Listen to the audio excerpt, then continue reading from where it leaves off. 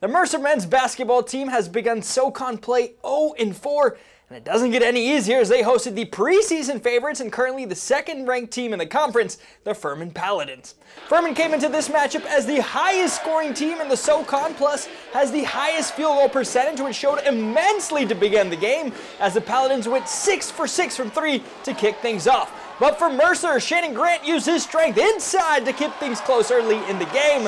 And then later, Luis Hurtado Jr. gets blocked, but Sean Walker Jr. is there to clean it up with the dunk as Mercer cuts Furman's lead to five. But after that point, the Paladins went on a 15-2 run as Marcus Foster hits his fifth three of the first half, giving Furman an 18-point lead. And they keep their defense strong as they went into halftime up 20.